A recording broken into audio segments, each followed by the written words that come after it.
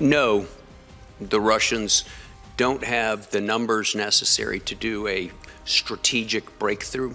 We don't believe. More to the point, they don't have the skill and the capability to do it, to operate at the scale necessary to exploit any breakthrough to strategic advantage.